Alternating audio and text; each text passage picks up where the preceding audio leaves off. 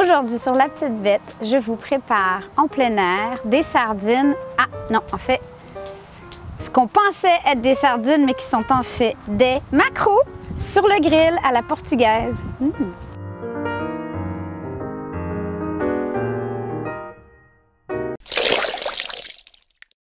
Votre petite bête, en fait, je pêche depuis que je suis tout petite, genre 5 ans, 4 ans, peut-être avant ça, je m'en souviens pas, où j'ai mis mes premières lignes à l'eau. En fait, quand j'étais petite, on avait un camp de pêche au Saguenay et euh, il n'y avait pas d'électricité. On prenait nos bains dans un gros seau.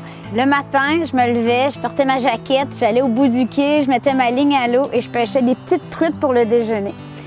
L'ironie de cette histoire, c'est que je mange et je pêche mon propre poisson depuis vraiment longtemps croyez-le ou non, je n'en ai jamais défait moi-même parce que c'est mon papa qui le faisait pour moi, un peu comme mettre les vers de terre à l'hameçon. Ça a été long avant que je le fasse par moi-même.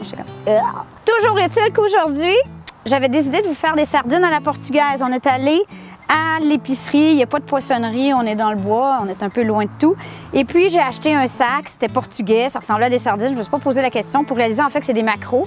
Non seulement ces macros surgelés euh, sont pas des sardines, mais ils n'ont pas été nettoyés. Alors aujourd'hui, ça ne sera pas une leçon de comment nettoyer un poisson.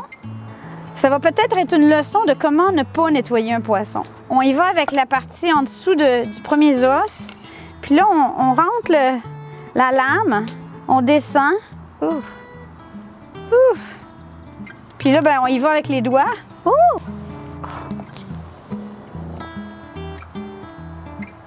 Puis après ça, on va aller le rincer. Qu'est-ce que je ferais pas pour vous? Parce que normalement, je dirais Chérie! Chérie, j'ai un boulot pour toi! Ah, voilà. En fait, je suis une femme très débrouillarde, mais il y a certaines choses, mesdames et messieurs, je préfère déléguer aux hommes. On va faire mariner les maquereaux. Les maquereaux ont un goût encore plus fort que les sardines, selon moi. Et donc, ici, je vais presser le jus d'un citron entier. Je dirais environ 60 ml de jus de citron. Entendez-vous le joli crépitement du feu? Ah. Je vais ajouter environ la même quantité d'huile d'olive, soit environ 60 ml ou un quart de tasse. Bien, ici, j'ai une énorme gousse d'ail qui compte bien pour deux ou trois, donc je vais ajouter euh, l'équivalent de deux ou trois gousses d'ail que je vais hacher. Pour faire un peu espagnol portugais, je vais mettre une petite touche de vinaigre de Xérès, soit environ 15 ml. L'équivalent d'une bonne cuillerée de paprika. Ici, j'ai du paprika fumé, mais pas piquant. Des grosses pincées de sel et du poivre du moulin. Juste parce que j'en ai, je vais mettre un petit peu de thym frais.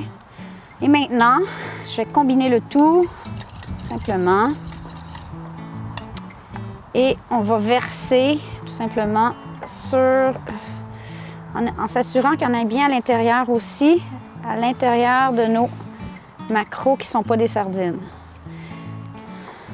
Cela étant dit, ça serait très bon avec des sardines. On va laisser mariner comme ça environ, euh, oh, je dirais une bonne heure.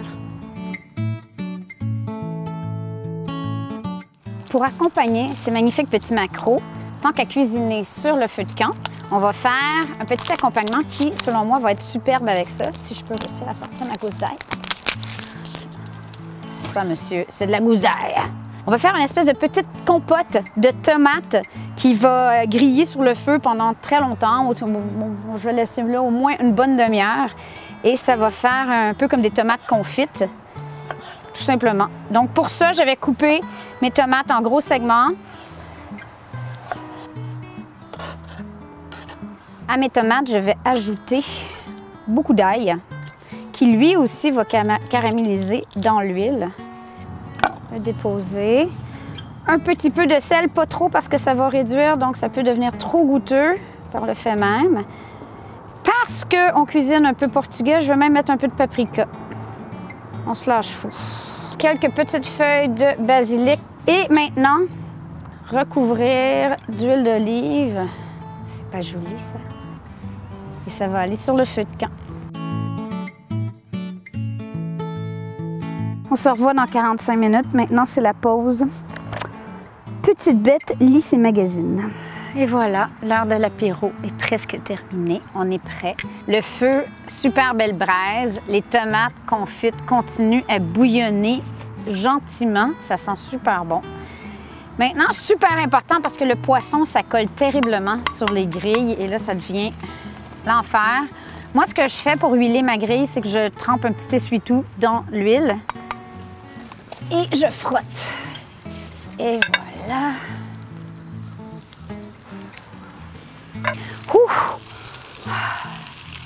C'est pas pour les faibles, hein? Il fait chaud ici. Je suis en train de prendre un petit coup de, un petit coup de foyer.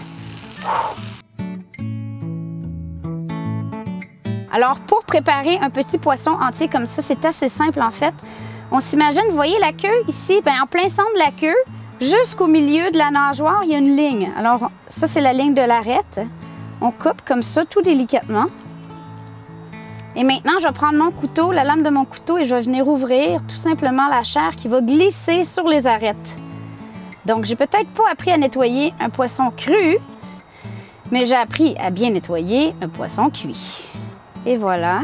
Et on prend, pour l'autre moitié, je prends mon petit bout de queue, mon couteau, et je viens tout simplement descendre l'arête.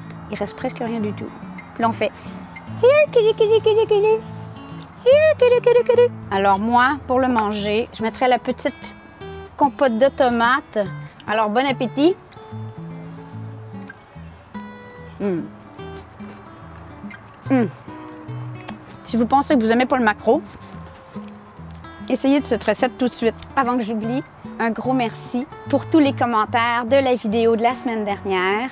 Je n'en sais pas plus que vous. Je ne sais pas encore si nous aurons une nouvelle cuisine ou pas, mais soyez sûrs que je vais vous mettre au courant. Allez sur le blog lapetitebête.com, suivez-nous sur Facebook, sur Instagram. C'est la meilleure façon d'avoir le plus de nouvelles de la petite bête quand je suis pas sur YouTube. Ciao!